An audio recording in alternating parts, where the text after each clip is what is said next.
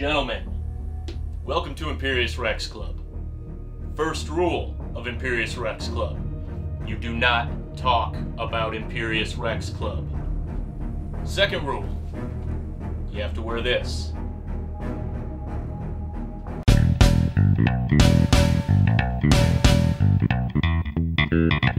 Hey, what's up, comic book fans? I am Neil's Unbridled Confusion. And I am Dave's smoldering disappointment. and together we are Imperius Rex. First rule of Imperius Rex Club, as it turns out, don't read Fight Club 2 and 3. no, not at all. But not to get ahead of ourselves, Well, because we yeah. it's a big episode. Ex- Exactly. I Because put on the second coat for it. Yeah, exactly. And second rule is don't read Fight Club 2 and 3. Right. But we'll get to it. So, uh, a couple meal nights ago, Mhm. uh, we watched some good movies, some classics, some Yeah. Formative Flix, You as know we have called it. hmm So we popped in uh, one of my all-time favorites, The Prestige. Oof. Chills, still amazing. Still great. The only thing we can follow this up with is my other all-time favorite, which is Fight Club. Oof. So we put it in. It's been a while since I've seen it, Mhm. but this just shaped my life growing up when this came out in 99, Yeah. I think. I was in middle school. You wanted to fight, I just wanted to fight everybody in middle school.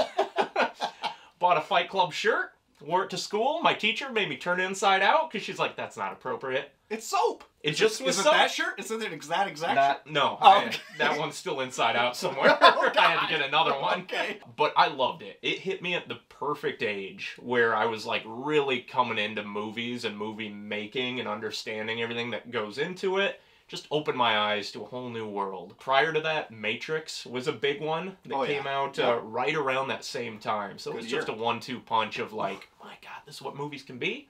I Yeah. want to do movies, and here we are doing movies. yeah, look at us go. I remember no one that I showed it to enjoyed it. They're all like, "This is stupid. There's hardly any fighting in this." I'm like, "It's not It- about yeah, that." no. I mean, it's called Fight Club, but you look beyond the title. Exactly. And Brad Pitt is ripped in it. So I sure mean, is. So there's that. you got Ed Norton in his prime. Everyone was in their prime in this. I feel like it Oh, was yeah. like the the best pairing of all of these creative people at the perfect time. Where like Chuck Palahniuk was just riding on easy street after this because I think and I'm I'm just gonna I'm gonna spit it right out here. When I saw this, I love Chuck Palahniuk, and for years I would say Chuck Palahniuk is my favorite author. Choke, my favorite book. He Mhm. wrote Choke. Everything he touched, I thought was amazing. And then as time went on, and I kind of looked back, I think he got a lot of props because of Fight Club the movie Yeah. Where it it occurred to me that like he's not no, I don't want to everything he writes is very much the same. Hmm they are all exactly fight club but just through a couple different lenses. And like there's no story structure in any of them. They're all just like the the narrative voice is identical. Everything about it is just the narrator telling you and paraphrasing things that happened and they're just like a collection of different little stories that he throws together and hopes that Jim Uhls, the screenwriter of Fight Club, can turn it into something that resembles Yeah. an actual narrative. Yeah. It took me a long time to come to that realization. And I'm not saying I don't like Chuck Palahniuk, but I feel like I'm more willing to be critical now at this point where the rose colored glasses have been removed and uh, just kind of seeing it for that all singing, all dancing crap of the world that it really is. Yeah. And it, I don't think it it didn't help like later in the movie in the book's life cycle that it kind of turned into like this uber masculine kind of weird Yeah. take on things where it's just like you kind of feels dirty watching it. it, you know. it definitely hit a phenomenon where the right people saw it and a lot of the wrong people saw it, I think. And, Yeah. you know, it's like a lot of things where people kind of took it and used it for something that really wasn't meant for. you Yeah, know? yeah. Because the whole thing is basically like uh, criticizing toxic masculinity. yeah. And all those toxic males took it and were like, yeah, fucking Fight Well, Club. we're That's what gonna- it's all about. Blow up a city building or something. or a like that. Starbucks. Yeah, whatever. whatever we're feeling. yeah. But there are, I mean, there are so many really great, interesting points made throughout the book and the movie. hmm The movie, I just think, presents it in a better linear way. Yeah. uh, presents a very non-linear story in a better linear way that you can follow. It's just Yeah. better for that medium. But we came off that movie refreshed, like we just walked out of a testicular support group. Oh yeah, we were like, oh my god, it's it holds up. it does. Love it. I think uh, any issues with the novel, I think the movie corrected. I think it made a better ending. The pairing of Fincher, Dust Brothers, everybody top of their Yeah. game, masterpiece. Absolutely. still absolutely great. hmm And we were riding that high, and I was like, I've been wanting to read Fight Club two and three for the show, and uh, this seems like as good a time Better, as any. no better time than now, baby. Yep. That was probably a mistake.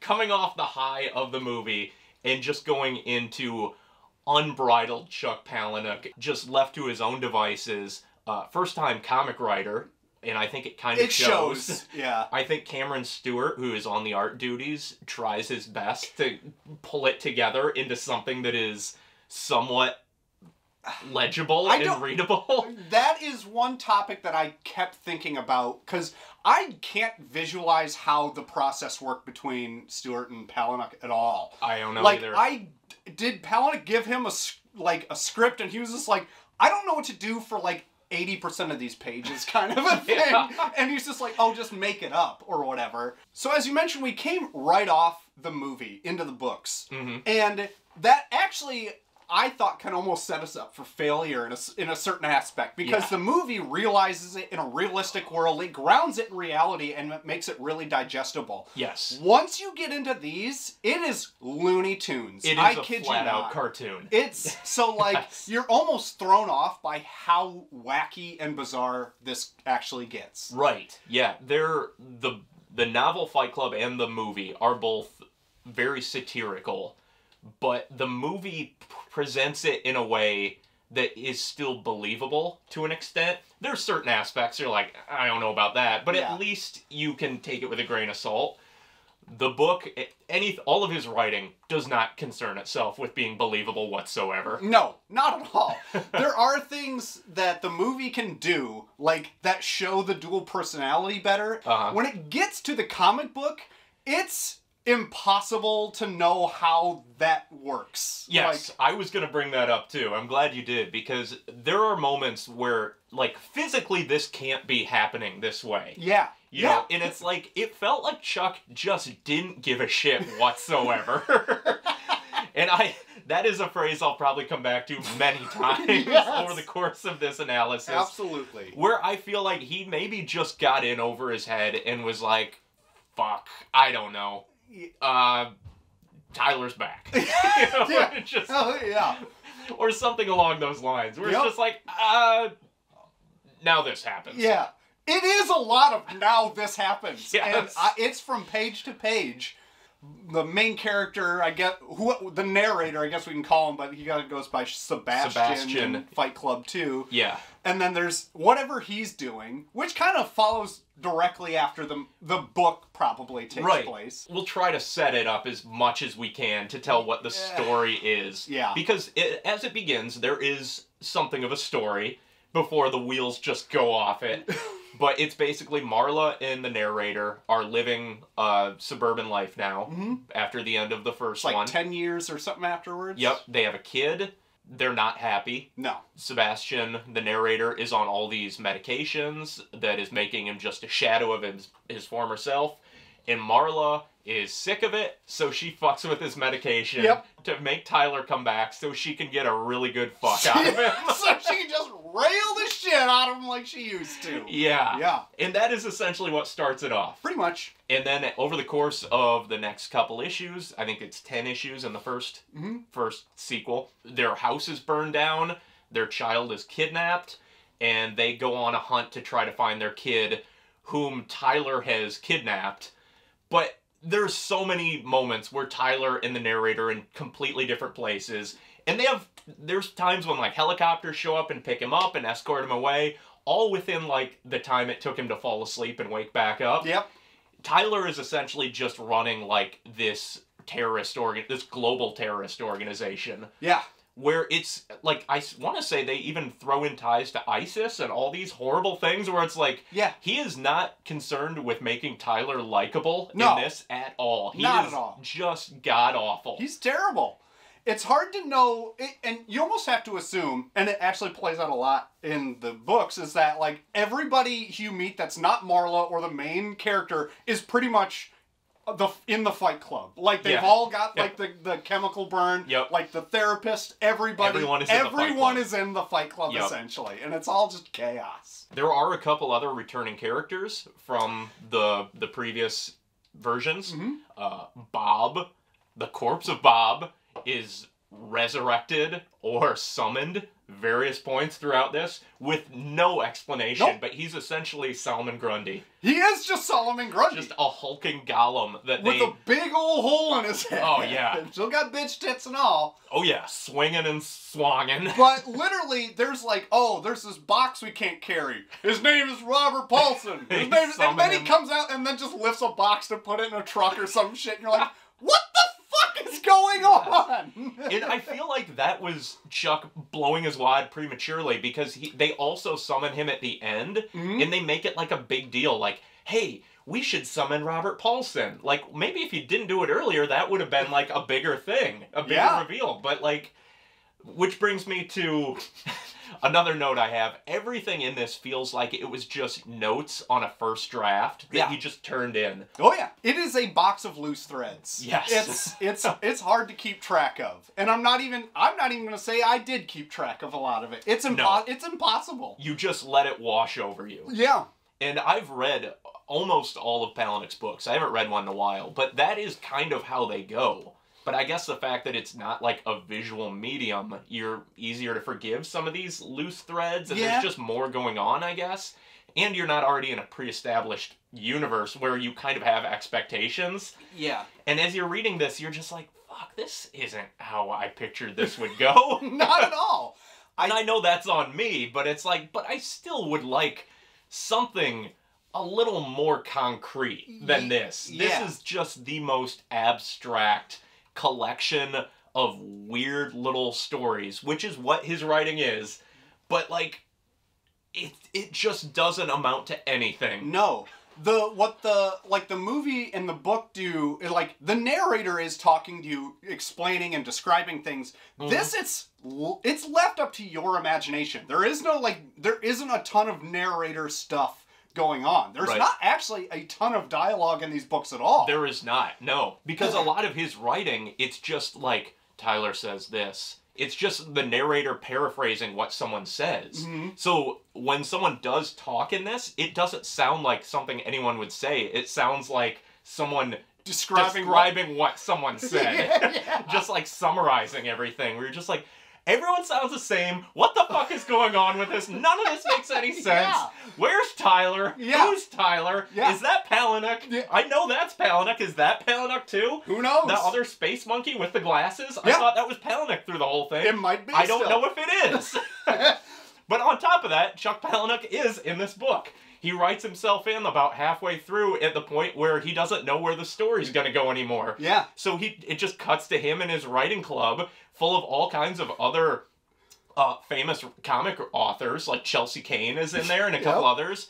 And they're just like helping him try to workshop the script. Mm-hmm. And by the end of it, he's just like, and it's it's it's all done, wrapped up, happy ending. Yep. They're like, Chuck, no. He's like, nope, it's good. And they're like, Chuck, no, it's not over. It can't end that way. He's like, nope, cut it, print it, we're done, the end. And then they blow his head off. So I mean, it all works out in the end. It is just pure chaos. I feel like that was the one note. If there was one note an editor or one person who looked through it had, is like this, kill yourself. thi- no. I wasn't gonna say that, but he was gonna say it doesn't end or whatever. Yeah. Can you like think of an ending? And then he just thought of this weird meta ending for Yeah. it. It actually has like three endings. Yeah. It has like the ending of the book itself. It has like the ending of Chuck writing the book. And then it has like the ending of Tyler coming out of the book and actually interacting Yeah. with him in real life. And Tyler blows his head off Yep. because Chuck writes that Marla is carrying Tyler's kid and she's gonna have an abortion. And Tyler's like, "Did you write that yet?" Because he wants a kid. Yeah. And Chuck's like, "No, not yet." So he blows his head off. So he's like, "I'm gonna be a daddy." Yeah, And that's yep. how it ends. I'm like, all right.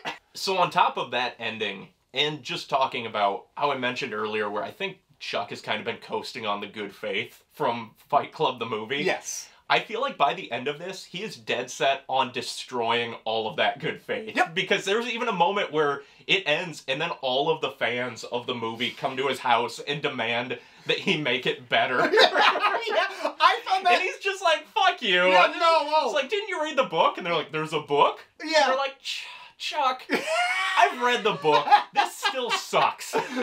Uh, I thought that was a pretty funny moment that people just showed up to his house to say all of his shit sucked. and Yeah. he's like, no, it doesn't, you idiots. Which is also how the book choke ends. So it's again, it's like, Ah, Chuck, you're, you're not even being original. You're Yeah. ripping your own shit off. That's a lot of Fight Club too. There are some moments that I wanted to mention that I did like Yeah. of it. Yeah. The artwork uh, from Cameron Stewart, who we're not even going to get into, but by all appearances seems like a pretty despicable person. yeah. Yeah. but a very good artist. Yeah. And I think he does some great work in this. There's one issue in this where Tyler attempts to get the narrator to commit suicide during a mission, hmm which again, how's that supposed to work, Tyler? Don't know. But anyway, their plan is they're going to go to all the space monkeys in Project Mayhem, go to uh, all these art galleries, and they're gonna slice their wrists and squeeze tennis balls and shoot Shoot blood, blood. all Yeah. over these famous artworks. Yep. And reading that almost made me queasy. I was was like, gross. that is so fucking gross. And for whatever reason, like blood shooting out of arteries is something that as I got older just really unnerved me. no pun intended. Yeah. But that part I thought that is a great idea. It seems very Fight Club. Yeah. It, it was depicted very well to Mhm. the point where I'm like, I almost feel sick reading this. Yeah.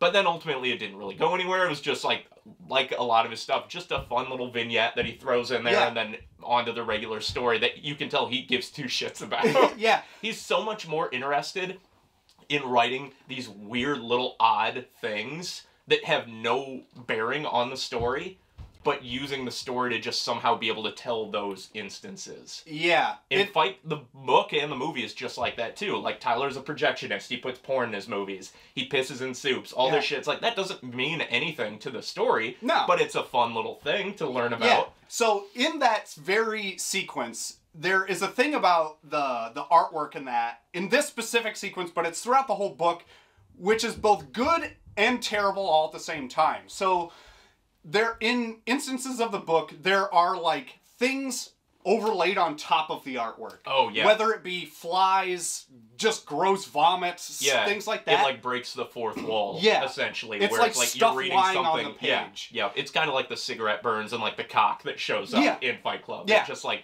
one more thing to separate you from the story. Exactly. And in that scene specifically, where they're all going to go bleed on all this artwork, they're they're all on this huge. They're taking blood thinners, Yeah. all these drugs. Anticoagulants. yeah, it's just the and all these drugs are scattered all over the page. Yeah. And that was an instance where I thought it worked. I thought that was great too. It's just like a big bender thing, and it's all messed up.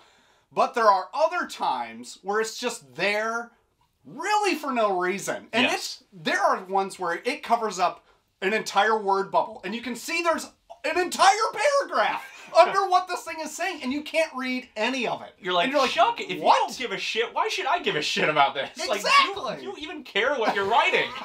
Obviously not. no. I get like it's a cool artistic flourish, but it's done so much throughout it Yeah. that I'm like, does anything in this matter? No. No, it does no, not. it does not. There's one thing I would like to mention as one of my favorite things in Fight Club 2 specifically. It's only one panel. It was the narrator's head exploding Oh, with yeah. all of the different IKEA furniture, all Yeah. the stuff that he's composed of inside just Yep. exploding out of his head. Yeah. I thought that was great. And speaking of the artwork, the covers of this Oh, are amazing too. Incredible. David Mack David did Mack. all of these. So good. And he Um, does all all the volume covers. Yes. They're so good. I feel like all of these artists just jumped on board. They're like, oh shit, I can draw Fight Club. I can draw the Fight Club comic. And then as the comic winded down, you could tell that everyone was just losing steam and didn't give a shit oh, anymore Oh, because yeah. obviously Chuck did not give a shit about this whatsoever. Yep. Because like at the beginning of both of these volumes, Cameron Stewart's art is probably better than it's ever looked. Very and by the end of it, it looks like he is just wrapping it up as quickly as possible Yeah. to move on to the next It's thing. like Jesus Christ. I don't even know what I'm drawing anymore. These are the most random assortment of pages I've ever seen. I spent a year of my life doing this, and it amounts to nothing. I don't think like the, these just were nothing. Like you would think, Fight Club comic following one of the you know most pop culture movies of our time that should be a big deal. Yeah. But the fact that like no one, no one even talks about it to rip it apart. Other than us, apparently, it wasn't even under the radar. It's like people started reading them and were like, "This is fucked." yeah, just Like I don't even care, Yeah. and they just like never thought about it again. conceptually, it's such a cool thing that could be awesome, and it just isn't. Yeah. I mean, you're like, okay, the, the writer of Fight Club is going to take this to the comic medium. Awesome for comics. Yeah. But by the end of it, you're like, maybe you shouldn't have. no. and right off the bat, you're like, God, should there be a Fight Club too? Like, I- I mean, obvious answer, no, there Yeah. shouldn't. Yeah. And we realize that by the end of this. but this is also so far removed from the Fight Club that's in everyone's consciousness Yeah. that it it might as well not even be Fight Club. No. a- It's not at just a random act only. of violence that Yeah. just didn't bring anything with it Maybe value. that's the ultra meta thing he's doing. Is that this is a Project Mayhem of things that he's doing. I'm sure he would say I'm gonna get people reading this comic book, which is just fucking bizarre and bonkers. Maybe that was the plan all along. Like he just, I'm gonna fuck up Fight Club.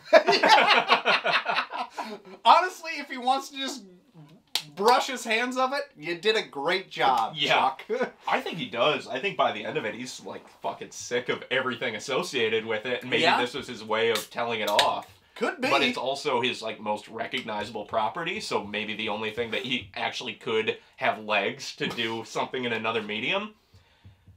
Uh, Fight Club 3 takes a different route where right off the bat it threw a bunch of shit at the reader and I was intrigued because a lot of it felt like stuff that I recognized from other pieces of media. Mm. Like in this there is a, like an underground cult going around that is basically amassing followers through having sex with people. Yeah. And it is straight up, it follows. Yeah. It's like a curse that if people don't go and spread it, they die. Yeah. They like puke their guts out. But it's all like amassing followers to eventually overthrow heaven? Is that where you took this thing? Couldn't tell you. There is a there was a whole I guess yes, and it's hard to like kind of conceptualize what the fuck is actually happening. It's so vague, but Yeah. essentially there's a painting, like a picture frame, Yeah. that is a gateway to heaven, essentially. Yeah. And people are being like brought into it and made as slaves, like workers, like the corporate workers, drones, to eventually overthrow heaven, I think. And it also kind of made a parallel that was Tyler kind of like a Jesus figure Yeah. that like he was God's son and he was going out into the world to spread the gospel. yeah, I guess they, Maybe all of those, maybe none of I those. don't. It, it, there's just not enough there for even you and I to know exactly if we know what we're on the same page or Was not. this even in the book? I don't know. There is another thing they throw in here about Tyler Durden in Fight Club 3 where he's not just the narrator's subconscious alter ego. Right. He's like a genetic descendant that's been plaguing his entire family. Right, he's like a disease Yeah. that has been passed down through generations. Yeah, and he's been like leading like everything you've seen with like this the son of Mm-hmm. the narrator. Like he's always talking on the phone. Like who are you talking to? He's like, oh nobody. Or Yeah. it's always, but it's always like it's just Tyler Durden in another lineage, essentially. It's- Yes. I guess to the point where it would be okay if Tyler made the narrator kill himself because he's just already like bringing up in his uh, descendant there. Yeah. And this is something that's kind of explored in a short story in one of Palahniuk's more recent short story collections. I think it's called Make Something Up. Hmm. I think it's called. Where there is a story about Tyler plaguing all these men through generations. and it's like technically a prequel to Fight Club. I reread it b- before this because Yeah. I remembered it had something to do with it. It, it gives you very little. it's just kind of more abstract ideas. Hmm. But it is, yeah, that does seem to be a uh, a theme that he carries with it here of like these dads that are gone and out of their son's life, and they're essentially like raised by Tyler. Yeah. And that was one of the concepts I was like okay with.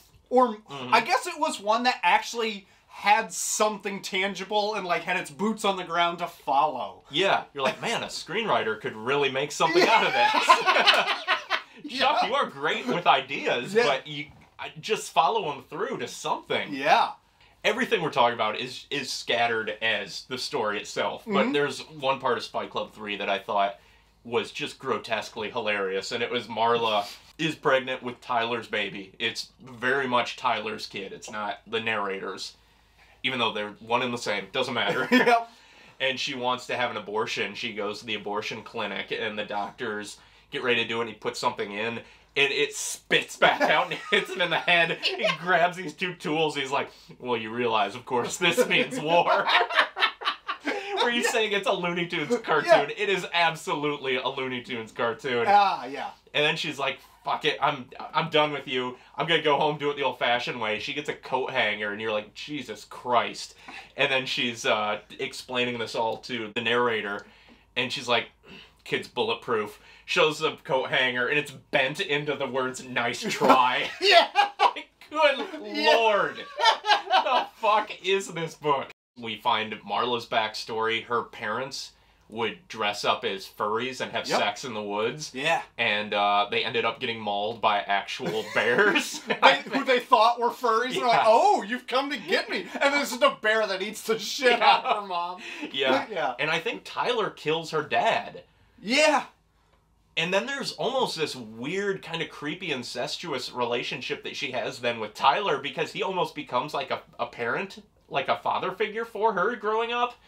And it's just, it's so many like half formed ideas that it's just in one ear and out the other because Yeah. I, none of it sticks. It's all too bizarre. It is. We haven't brought up Marla a lot, but she is in this quite a bit. Yeah. Like is almost as much as the narrator, doing completely different random things. Like Yeah. she goes and like like she goes to like the Middle East with a bunch of like people with that like a ge- ge- ge- Genetic- disease or yeah, something. a genetic disorder that makes children uh, appear very old. I cannot remember what it's called. it's got but a long name. There's in one of his other books. There's a character that has that. So this was not the first time that he's focused on this too. But yeah, she goes to a support group of all these little kids that look like old people.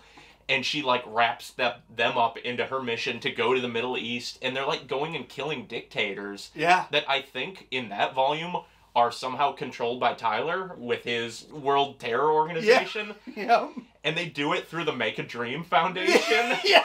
where like Yeah. all they pretend to be little kids saying they're about to die, and they want to go like to Honduras Yeah. and like get an AK forty seven, and they just keep getting all this shit like. That I think was the moment in Fight Club 2 where I was like, this thing is off the fucking rails. Yeah. where they're like they're calling Make a Wish to like, yeah, can I get like some B fifty two bombers here? And I'm gonna need an Apache Well, helicopter. we'll see what we can do. Yeah. And then one of those uh, geriatric children Mhm. is revealed to be a character from the Fight Club movie and book, Mm-hmm. Chloe, Yeah. who is a cancer survivor. And this is another moment where, as I was talking about, I think Chuck was just writing it as one thing, and then he's like, "Oh, you know what? I'm gonna make it Chloe." So it's not a kid with a genetic disorder. It's just an old, uh, just a woman with cancer. And didn't it mention that that Chloe was doing the same thing that Marla and the narrator were doing? Yeah, she was like going to all these Yeah. different support groups too. And then by the end, when they need to like tally up all of their sexual conquests for their followers, Yep. they tag in Chloe, Oh, and yeah. Chloe just like fucks everyone in the world. Hell Turns out she's just a sex beast. Yep. She loves it. Just swinging titties and all. Oh man. God damn, what is this? By the end of it, Marla has the child. Somehow they're convinced to sign over the adoption papers to this new family.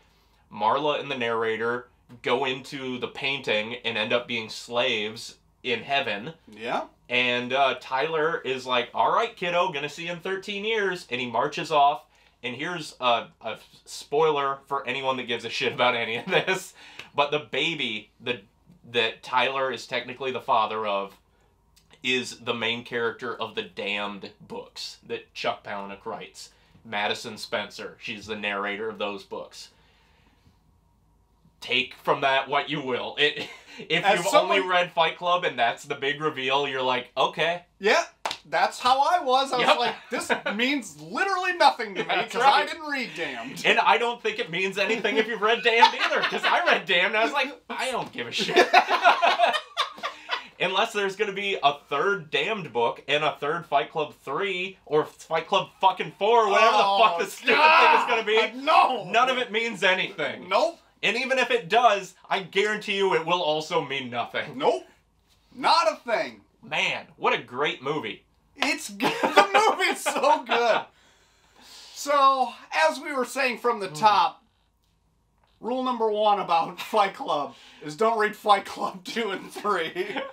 Second rule, don't read Fight Club 2 and 3. Yes. And like we we very rarely on this show rip something to shreds. No, we want to like it. We do. And I I would want nothing more than to like the sequel to my favorite movie of all time. Yeah. So you have to understand how fucking bad this is for me to dogpile on it like this. Yep. Because I was going in like when I picked this up, I was like, this is gonna be great. Oh, and about halfway through, I was like, this might be one of the worst things I've ever read.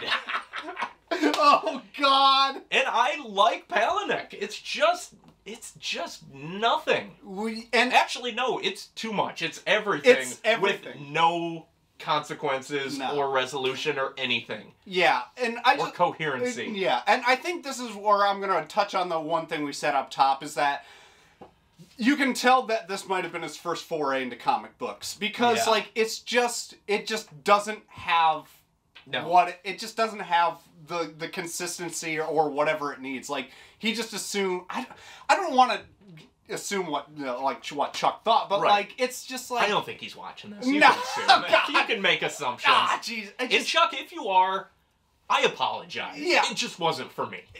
it's not for a lot of people. I don't know. Maybe he was just like somebody maybe was like, "Hey, you gotta do this." I, I totally feel like he was pressured into Yeah. this. Or like someone brought it up, like, hey, you should do this. And he's like, yeah, maybe I should do this.